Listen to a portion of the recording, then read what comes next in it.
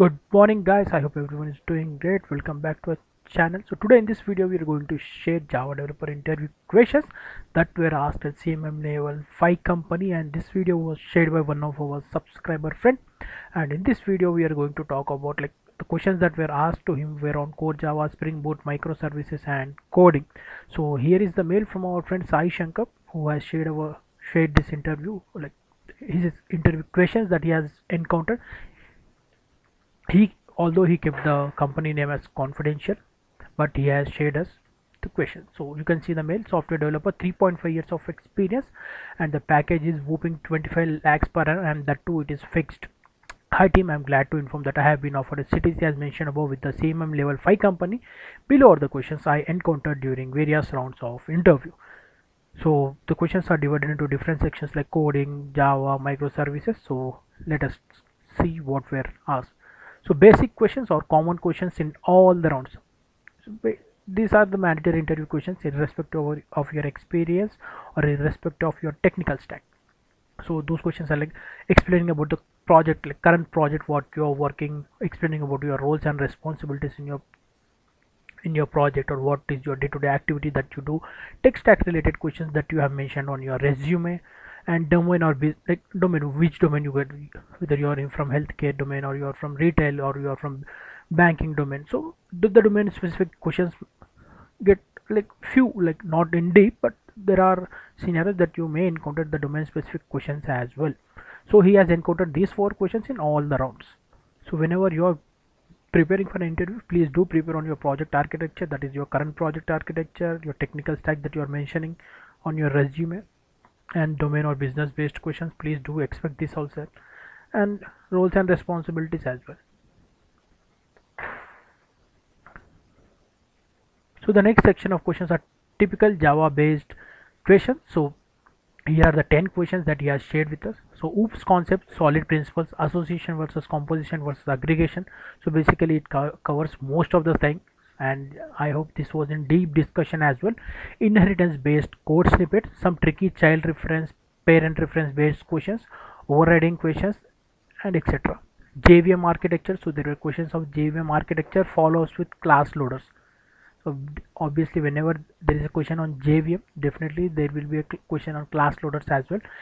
Exceptions in project i worked on global and local exception handling follow-ups like exceptions in overriding how like whatever uh, things you can apply there. Like what exceptions you can override parent child exception relationships and all those things. Immutable classes and benefits or disadvantages of immutable classes. So this was the fifth question.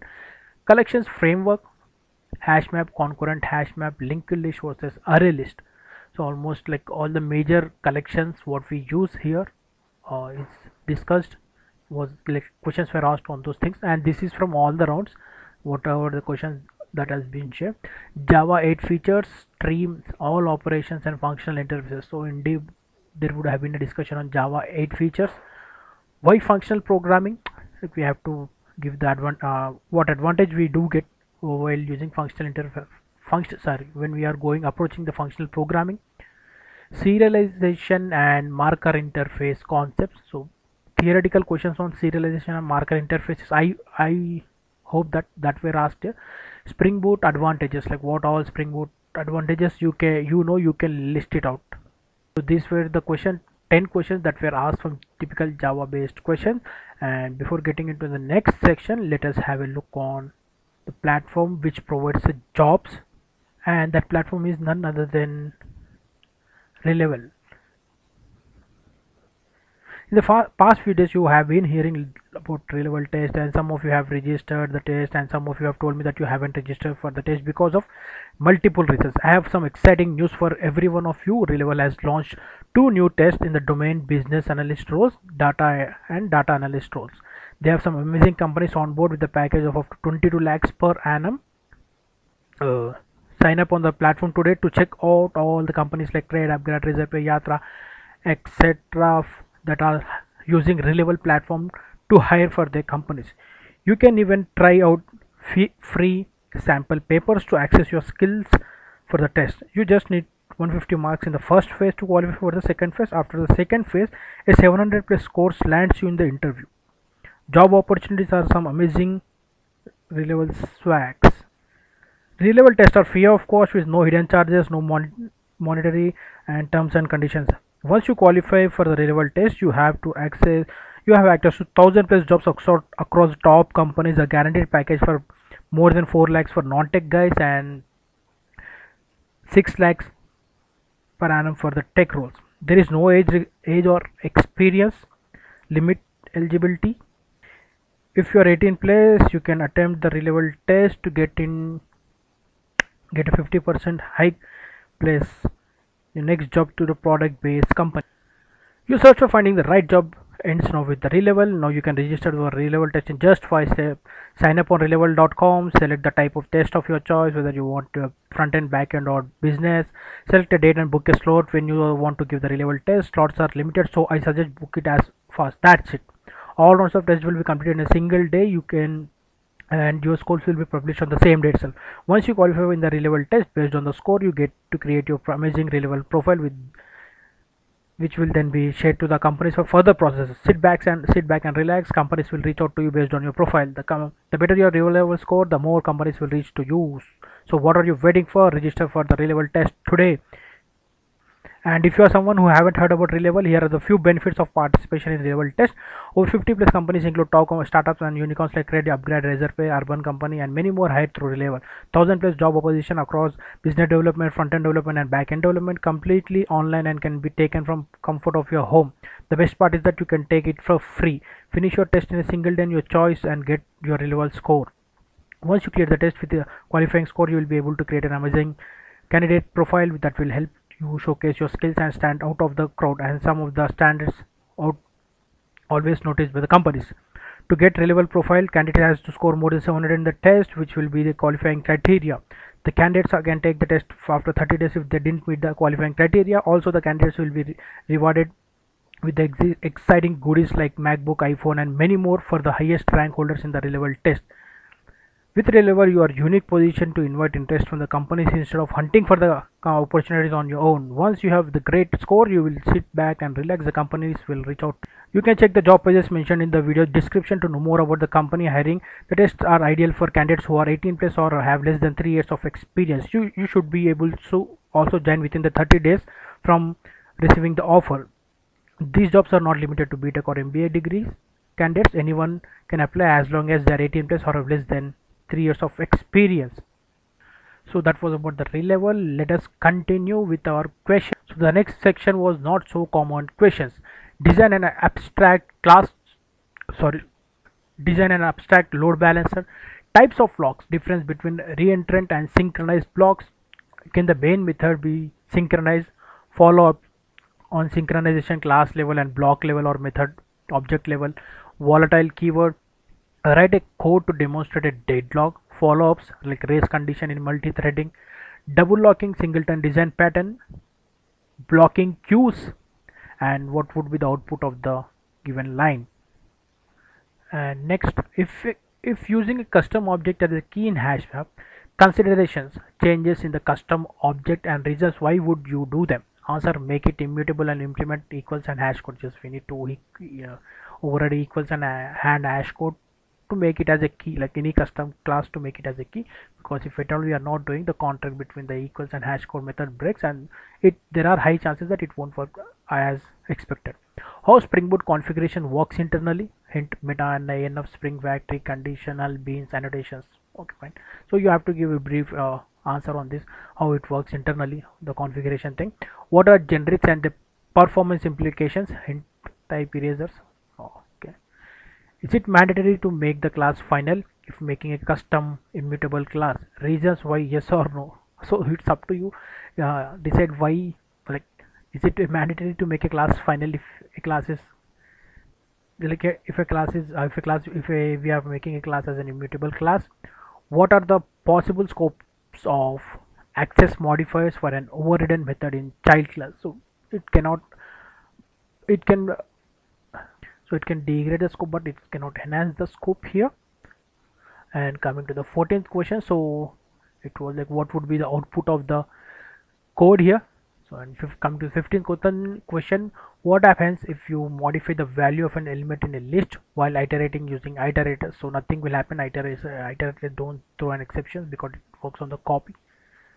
So these were the questions typical questions from the section then the next section are coding questions. So write a program to group anagrams write a program to shift all the zeros at the front followed by all ones. This is one line code actually. You can initiate the array and wherever the zero is not present you just need don't need to insert anything. Find the nth node from last in linked list. Constant is size can't be found. Oh super. This is actually challenging. Write a program to find the max length of palindrome substring in a string dynamic programming indeed challenging if you don't know. This is uh, if you practice this is uh, this is one of the important i can say like important questions. Because a lot of times we encounter this. If at all you are an experienced candidate you will definitely encounter this type of this question like max length of palindrome substring in a string given string. Find the kth smallest element in an array without sorting it. Hint use max heap priority queues. Yeah there are different ways to find this.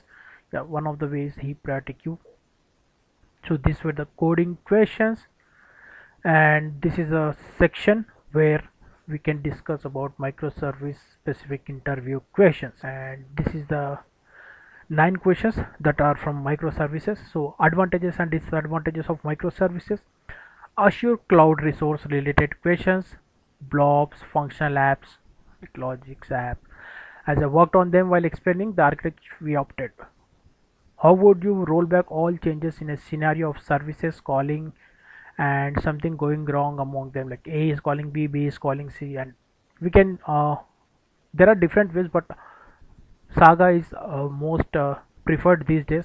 So if you have worked on uh, microservices architecture you will definitely know about what is saga integration. So how saga works you have to explain that. How would you design an application to send emails to all clients customers on a specific day. So there are different ways. Again it depends on your architecture. Design patterns in microservices. So what are design patterns that have been used in microservices? Caching related questions as i have used some. So you can this is again like depends upon your project your project using caching. Mostly like 99% projects will use caching so this question can be asked. Circuit breaker implementation. So I have to explain about the implementation like what issue it resolves as well. When would you suggest someone not to go for microservice arch architecture?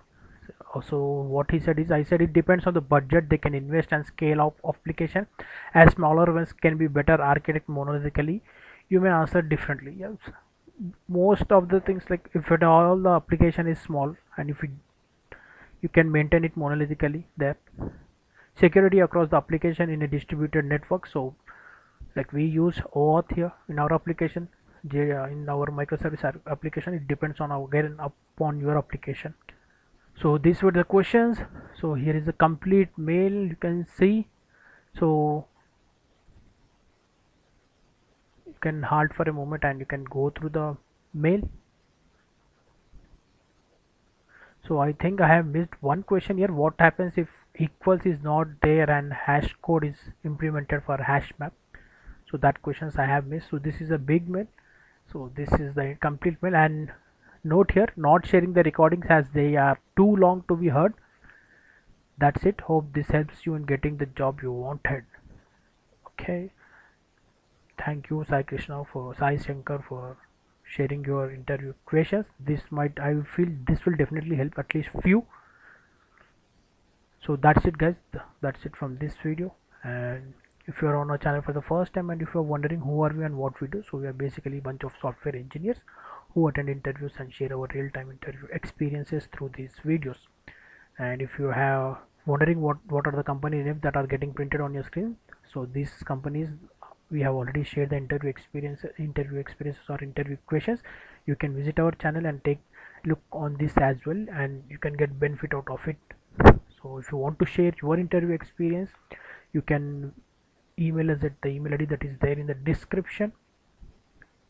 So if you haven't subscribed yet please do subscribe like share and provide the feedback. I would request to please do share this to other technical platforms as well so that it might help someone who is looking out for similar kind of videos and it might help him in cracking his interview. And thank you for watching. I hope you have a great day and you get succeeded in your life